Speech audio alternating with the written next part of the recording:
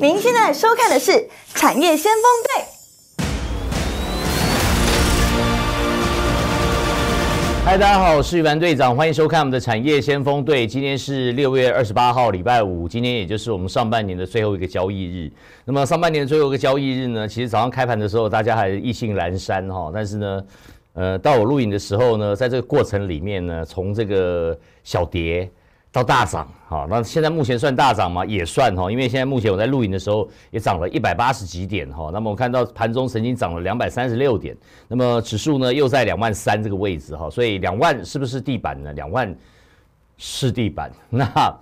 有人会问队长，那我们的下半年是不是那个上半年都涨成这样了？下半年难道还有机会再大涨吗？我们来先看一下我们的指数最高的时候涨到哪呢？两万三千四百零六点，在这个位置呢，现在短期之内呢就在五日线这边游走哈，所以呢感觉是一个非常强势的哈。即便是外资呢在之前呢调节了一些持股啊，但我们看到投信的人就站在买方哈，那么大家会心里想。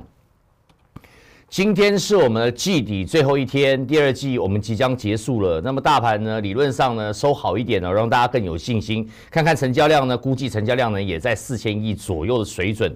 但是我们今天会看到那个，我先给你看台积电，对吧？哈，大家看到台积电有没有？诶，这两天在整理哦，突然哦，今天台积电就嘣，又又开始浮起来了，有没有？好，那如果台积电都这么稳，我的意思，它都在五日线的强势整理，今天在。呃，具体的最后一天呢，最后的收盘价，我们待会来来观察哈，因为现在还没有收盘，所以呢，现在的观察是，今天不但台积电拉抬的指数呢，还有一个重点是，之前休息整理的股票居然又发动了哈。我先讲哈，昨天黄仁勋哦，在这个他又提到了所谓的机器人哦，今天机器人又回魂哦，那那很妙哎。那广明先冲上去耶，广明哎，达明机器人砰咚打到一一一哦，然后呢，大家看这是一个修正对吧？哈，好，修正。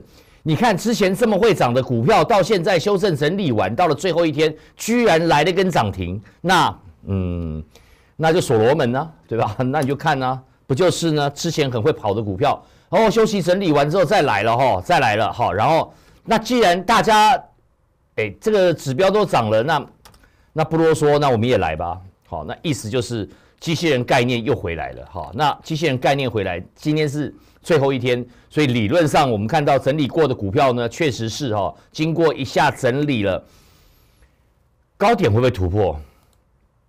这是我们要想的下半年哈，因为你看哦，我先让你看，你会觉得很害怕，很害怕，怕什么呢？呃，这一段上涨过来，啪，到这里。很惊人，那么惊人的情况之下呢，你就会想说，嗯，这股票到底有没有赚钱？好，有赚钱吗？好，我们我们来查一下哈，它有没有赚钱啊？没有赚钱。第一季，嗯，没有，好，没有没有没有没有哈，没有赚钱，没有赚钱，八十二块二。好，我们先假设第一季没有赚钱，已经知道了嘛哈？那第二季呢？哎，第二季还没出来啊。好，第二季。那六月份营收什么时候公告？七月十号啊，哦，所以下礼拜开始进入下礼拜，我们就要开始陆续公告六月份营收啦。那我们就要算四五四五六喽，对吧？哈，好了，我跟你讲，第三季的开始，很多股票是照跑哈，照样跑。但是呢，等到六月营收完毕之后，公布完毕之后呢，你大家就要面临到一个第二季财报，也就是上年报的公布哦。在公布之前，继续乱跑一通，啪啪啪啪啪。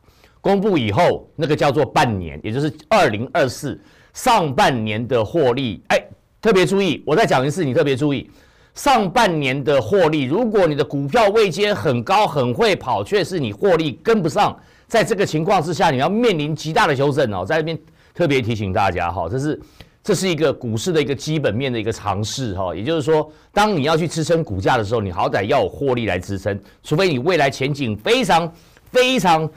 非常的好。如果你说机器人要好，什么时候呢？一两年以后才会真正的好。哈，我现在跟大家讲哈，所以要提醒大家哦，这这今天哇，大家在那边冲啊，哦，最后一天哈，好，来我跟你说。呃，基本上是这样哈，观光旅游可以先不碰啊，就不碰。你也知道呢，这个大陆大陆一些地区呢，现在被列为哦这个高风险地区哈，这个可能是一个政治上的一个关联性哈，所以好，观光旅游即便进入旺季，你也你也要特别小心一点。好，来了，各位。我们今天看到盘面上除了机器人之外，当然其他股票都有表现哈。我们刚刚有看到一个 P A 的龙头的稳茂哈，就攻上涨停板，但是没锁哈。大家有没有发现？我们看到稳茂哦，其实呢，稳茂的股性没有多活泼了哈。那么，但是呢，之前的全新呢，其实先往上攻了哈，先往上攻，先拉回哈。那那我们也说了，有现在很多的股票啊，就是我在这边看说，哎，突然哦，哎，我刚打到南电，我我在心里想，我等一下讲那个 PCB 哈。等下 PCB 我们再来讲，我先讲那个 PA PA 三雄好了。如果你去看稳茂，你去看全新，你去看宏杰科，在这几档股票里面，现在的稳茂亮灯涨停了，全新之前就往上攻了。但今天的宏杰科哦，我在我在那边，我刚刚看了一下哦，本来开盘气势都很好哦，但是呢，后来啊，好像又拉回了一下哈。呃，宏杰科我觉得很可惜的，就是说它业绩真的很好哦。来看一下位阶。宏杰科在今年的前面五个月的营收都相当不错，但宏杰科的股价却是落后。我要为什么要这样跟大家报告？我说宏杰科股价落后，我找个资料给大家看一下哈，看有没有相关的资料让大家去看它的前面的五月，哦，前面五五月，你看哦，从四月份。二月，对不起，这边四月，这边三月，这边二月，这边一月，哈，它其实都不错，而且跟去年来比较的话，以去年的比较来讲的话，真的相当不错，哈。但是呢，重点会是什么？我我再讲一个啊，这边是这边是累计营收了，哈。那转过来，如果跟过去来比较的话，今年的宏杰科是不是很有机会？我觉得真的很有机会。第一个，它股本也不大，哈，但是呢，用 P A 的角度来看的话。我们在看思索的今年的下半年的 P A 的表现会相当不错哈，所以那那稳茂已经冲上去了，红杰科还有没有上涨的空间？大家请看，我先跟你讲哦，这一段拉上来以后，到了一四四停住了，今天好像要往这边攻，没攻过去哈，但是这边会过。好，这重点是我们要进入下半年了，所以我有打个标题叫决胜第三季。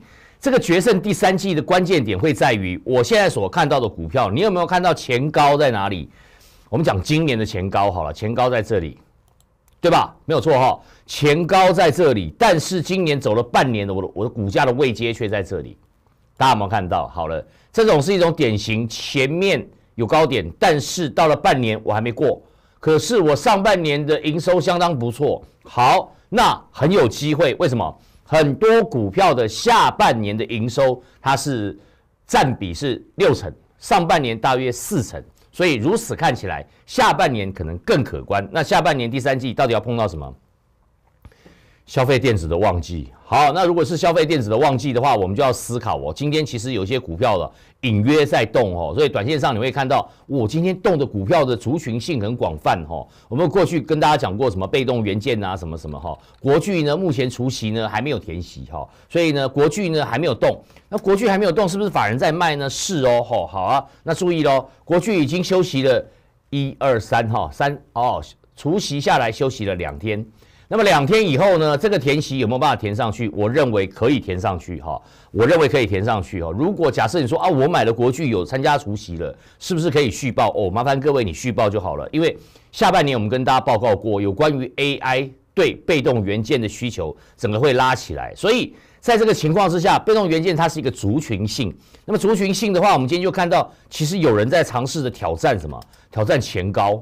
那我们来看一下利隆电哈。那利隆电会想到裕邦，因为做固态电容的哈。好吧，我们让大家来看一下利隆电的短线的高点在八十七块半，今天来到哪里？八十七块四。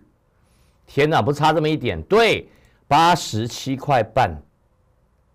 量比较大哈，八千多张，今天量没有很大哈。好来，它就接触到这个位置哈，它会不会在下半年突破？各位你想一下，我刚讲了，哦上半年创造高点的，然后呢，它如果没办法突破，现在股价位阶还低的，那像这种股票它是接近今年的高点，对吧？那下半年如果是产业的旺季，理论上是应该要突破。好，那就来了，我们就有太多选择性了。我先跟大家说。下半年的思考模式哈，我们现在都把那个所有的关键点都有可能。刚才我前面先讲了机器人，但是我先跟你提醒，机器人叫概念。如果机器人真的要产出，你说人形机器人，其实大陆角角度大陆哦，他们很快哈，他们做的，他们一看到人形机器人，他们赶快去研发那种人形机器人，大概三四十万就可以买得到人形机器人了。但我都不知道，如果假设是你要花个三四十万买个人形机器人，你的作用是什么？哦，这这就就想说，人形机器人到底可以做什么？哈，好，不管商业化、工业化，这里面的机器人、人形机器人的脚步可能还会慢一些哈，所以重点会。不是放在机器人身上，机器人绝对是一个引爆的话题，会在那些所谓的零组件身上。好了，那既然如此，机器人叫做话题，所以呢，它还没有算结果。那么没有结果的情况之下，这种概念就很容易触发小型机器人股，就是小型，我股本不大，我跟机器人有关联性的，我就可以涨。好，涨到最后来了，我再回来重点问，我先找一张资料给大家看。机器人概念啊，我们先找到机器人概念，让大家理解一下哈。好，机器人概念，你看哦，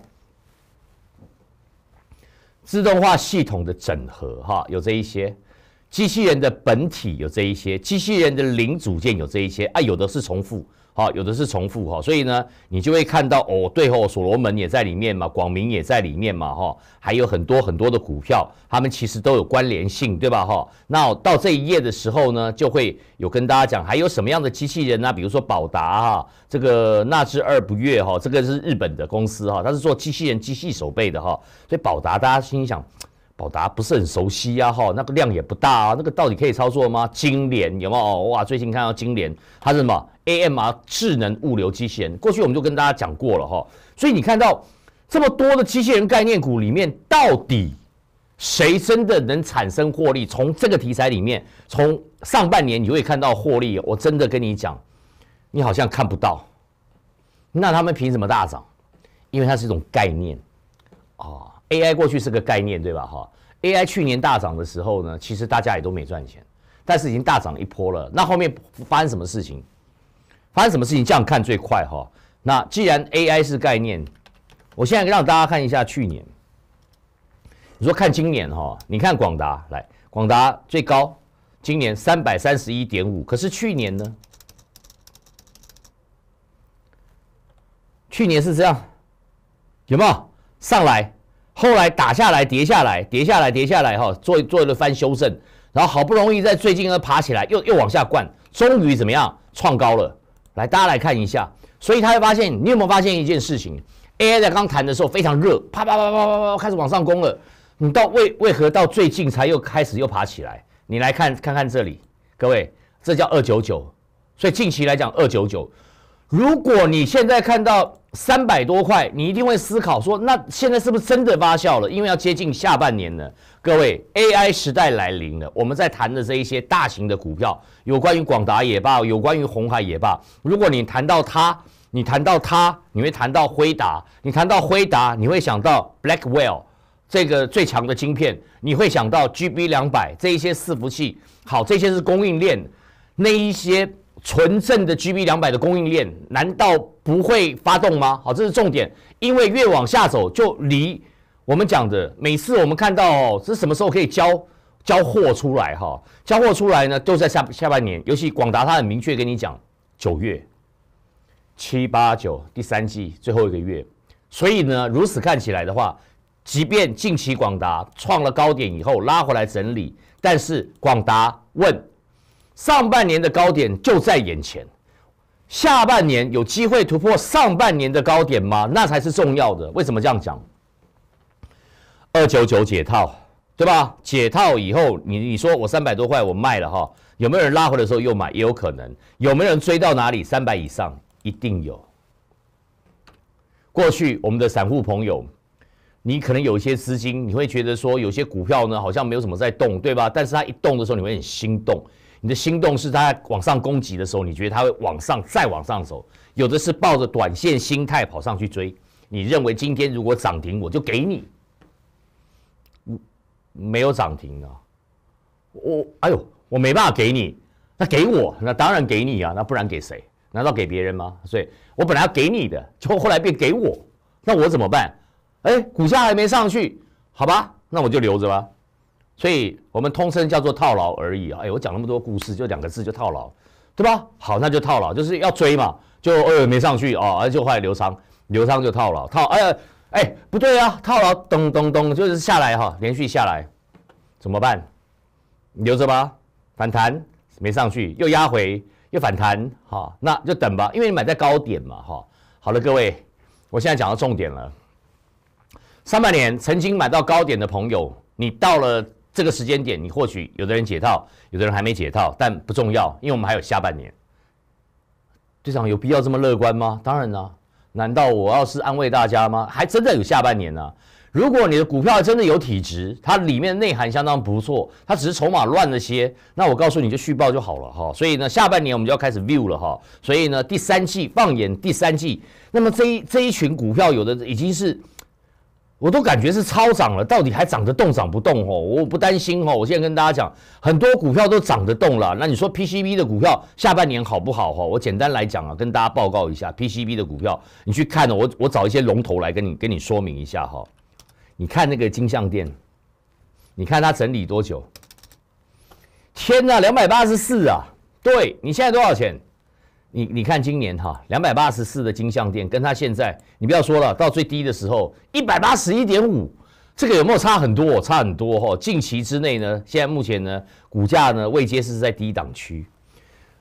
我形容一件事情啊，金项店叫云端一哥哈。那么好，既然它有它的地位的话，云端一哥理论上股价够低的时候是有人会捞的哈。所以金项店我认为它的母股价现在目前在低档区哈。嗯。是哈，好吧，那既然如此，我们就来看看华通吧。华通是 HDI 版的一哥，对吧？那我们也称为低轨道卫星的一哥。好，那如果这样子来看，华通的股价呢？华通股价倒是不错哈，那至少比刚才的金像店好多了。你看今年冲到哪里？八十五块七，然后呢，每一次哦，你去看这个线型哦，你有没有发现一件事情？高档区、低档区，这个差距很大。但是呢，我有没有特别强调一件事情？大家有没有想过，一档体质好的股票，有题材的股票，是很适宜怎么样拉回是机会，拉回是机会，所以要必须等它拉回啊。那大家会想说，哎，拉回这个事情很难处理啊，什么意思呢？你看这样拉回，这个叫拉回啊，这反弹，这拉回是更深呢。好，这个反弹，这个拉回是更深呢。好，然后再来，这拉回。就差不多是这样了，好，各位请看哦，拉回到这个位置就差不多了，这简直就是低点。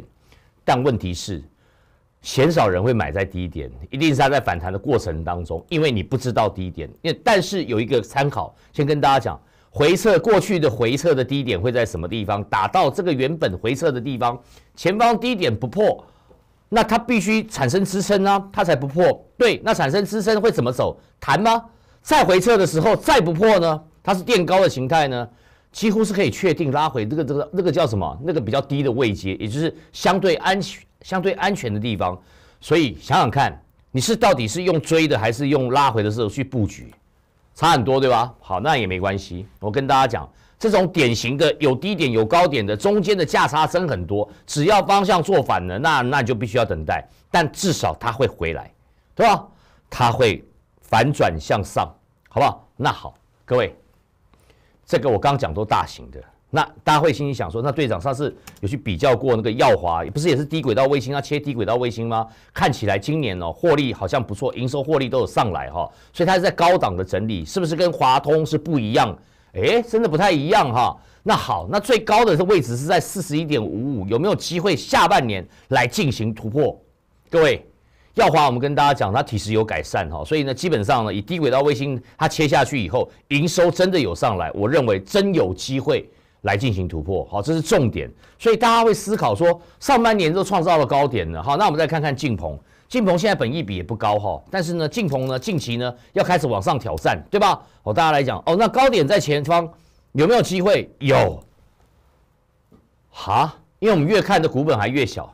那现在晋鹏三九点七，那晋晋鹏是以汽车板为主，大家都理解哈。但是呢，对我们现在目前所看到一些扩产的厂商，似乎呢越看是越好。好，那我们就回来重点，刚才所讲的 PCB 产业，它是电子工业之母。我们就讲一个印刷电路板哈，所有的零组件都在上面，它里面包括了什么？主动元件、被动元件，全部要在一个板子上面，所以它是电子工业之母，对吧？好，所以我们里面会有很多半导体要讲吗？半导体根本不用讲，台积电们吗？台积电们呢？下半年还更好嘞！啊，是啊，啊对啊，我来给哎好，那我们重新把资料重新再让大家看，为什么呢？台积电们，你会发现这里面。跟台积电息息相关的伙伴们有做很多样的东西，对吧？你说有厂务工程的，有耗材的，好，有过去我们讲的设备的哈。即便你看到上半年在大涨，对吧？但是呢，当我把营收、把获利再公告的时候，你就会发现另外一股的动能就来了。为什么？第一，我的设备准备交，我还有很多设备都没有交，这是未来的获利，好的，未来的营收获利还没进来。但题材性要告诉我们，台积电不但在扩产，它要扩厂、扩产。好，那大家一致的目标，也是大家一致的目标吧？一千吧？那法人目标在哪？一千三吧？好好，那我们回来重新看台积电。既然大家的目标都在想一千，问那一千不就在前面而已吗？你告诉我，一千不是在前面？前面九八四。九八四过去不就一千了？对，那好，那我们现在差多少？没有差多少，所以台积电涨个几天大涨以后，它就会到一千，会不会是这样？会啊。台积电会不会崩？好，那大家会心里想，我问你，台积电怎么崩？你你可以告诉我，就是外资每天卖，好，吧，那你卖啊，好，你就外资每天卖，你觉得我们的长老们会愿意让你每天卖吗？你卖我来买啊，那天不是这样吗？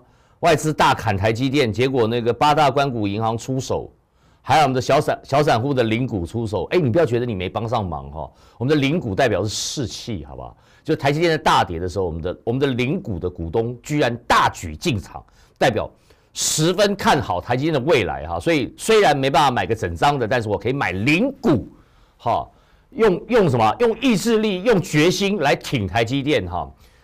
对了，虽然你贡献力量不大哈，但是大家都有看法，就是看好台积电的未来。所以，到底谁不看好台积电的未来？我觉得是那种类似像什么三星电子啊，那那个韩国人之类的，他当然不看好啊哈。好，那既然看好台积电的未来，那我们就思考。刚才我讲了，从了个股本身各各种题材的演变，到下半年是不是有机会再上？要看营收跟获利。那么回到这里来看，所以我们要讲的重点是，如果台积电未来能持续看好。就问指数还有空间吗？那不在讲废话吗？台积电如果它能够在大涨，指数怎么会不涨？所以你看到我切回到指数这边来给大家看哦，是不是位置都差不多？对呀，台积电指数不是涨一样好？所以请问两万点在哪？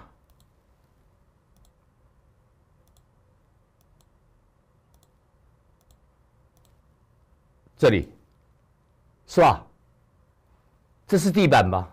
都刚哎，对呀，别闹了。上次大家两万点的时候还说它是天花板，所以碰到那边就压回来，碰到那边就压回来，有没有？你看两万点的位置在这，所以我们攻到两万点有没有？吓死人了！哎呦，太可怕了！你看啊，压回来了，有没有？哦，有啊。现在是两万多少？现在在这啊！哎呦，很可怕，很可怕。然后我因为这个没办法突突突出呃。电脑的极限在这了，我们没办法过去了哈，好吧？它有可能在往上走啊，有这么乐观吗？不是，那你要多悲观。到底有什么事情可以让你悲观？我先想一下，好的呀。呃，FED 升息两码，不是，人家只是说不降息，你不要吓我们吗？对，那对呀，那对呀，我没有吓你啊。难道 FED 会连续升息吗？这我到目前看不到嘛，对吧？哈，所以看不到，看不到。有没有什么重要的事情？没有。我现在，呃，川普有可能会当选，我，我真的不知道，对吧？那好，没关系。股市往下走，我们要边边站边看。谁的意思就是说，我要参与以后，那边的去看到底有什么重大事件会影响，让股市有利空消息充斥？好吧，目前看不到，对吧？那半导体的产业，你你往下看是好还是坏？我看的是好，因为 AI 趋势正在走，所以各位。理解一件事情，如果台积电是正向的，它是持续是往上的，即便是整理，它是在高档整理，它持续往上的空间那么就不用担心我们的指数会有很大的危机，好吧？因为那一些所谓我刚刚讲的，你今天所看到那一些强势的股票，它跟指数没有什么太大关系。你攻上涨停板的那些股票跟指数没有关系，万一它突然回档拉回也很严重的拉回，你都不用怕，真的不用怕。好，所以我跟大家讲了，今年下半年还有个年底做账行情，千万别忽略掉集团股。好，我讲集团股哈，包括华兴集团也是啦。你不要认为现在华兴科它现在不动哈，给你看位阶你就知道了。你说，哎呀，这个感觉好像在高档啊，哈，是吗？你觉得是吗？对吧？没有在高档，所以呢，被动元件下半年会不错。下半年其实还有很多题材哈。我在那边跟大家讲，我刚刚讲了，包括 PCB 那些机器人的这些概念哈。当然呢，思考的模式哈会是这样，大家会追着强势的股票哈。今天、昨天其实很多人冲进去太阳能做短线，今天就把它卖掉哈。所以太阳能，如果你去看太阳能，说哦，短线可能是好像攻不太上去哈。但是我一定要请你回来去关心那种。真正的电力概念股，比如说中心电，我要跟大家讲，比如说中心电，为什么我讲中心电？中心电是我觉得很可惜的一档股票。去年没有云豹假车弊案的话，中心电的获利面，其实理论上中心电的股价可以跟谁比？可以跟市电比。哈？你相不相信？如果去年没有云豹假车避案，他把整个上半年的获利拿出来了以后。那个加起来是很可观，但中心店今年等于是重新再来哈，也没有这样的这个问题了。它等于重新的获利能力重新再来的情况之下，中心店的下半年我觉得很可观。好，那各位可以提，我觉得以我电力概念股来讲的话，大家重点还是会放在重电嘛哈，或者是电线电缆哈。所以太阳能可能它短线上突然嘣一下哈，因为短线参与的人太多哈，那隔日冲的人家走走掉哈，那它会比较乱一点哈，但是。以重电来讲的话，我觉得未来的几年都相当不错哈，所以千万别忘了哈，我们要进入七月了哈，那么开始放暑假吧，开始热，真真的热啊！昨天大家是真的就是真的是轮流来哈，哎，欢迎适适龄的朋友哈，不也不能欢迎适龄，对不起，适龄的朋友麻烦先停一下哈，停什么？停电哈，啊，高雄的朋友哈，停电哈。那个因为不知道什么原因哈，但是台电都会说明哈，就是轮流来哈，你先来哈，然后换你来哈。啊，七月这个用电量需求更大哈，所以有电力概念股，请你续报就好，好不好？续报就好。哎呦，讲着讲着那个就没时间了哈，我先把这个上半年哈做一个做一个总结哈，下半年好不好？我认为好。第三季你要决胜，第三季要找到对的股票。那么第三季的强势股呢？哈，如果你有兴趣的话，我刚刚在我下方已经告诉大家怎么操作了，请你在我们的 line 里面留言，哈，在我们的 line 里面留言，留一个 W I N Win，赢，哈，要赢钱，第三季你要怎么赢？这是一个重点，诶，先来追高还是来布局？哈，我们有我们的策略，所以那些强势股呢，大概已经整理好了，哈，一档一档带大家来操作，哈，所以今天。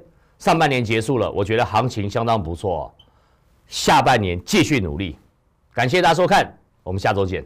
本公司与所推荐分析之个别有价证券无不当之财务利益关系，本节目资料仅供参考，投资人应独立判断、审慎评估并自负投资风险。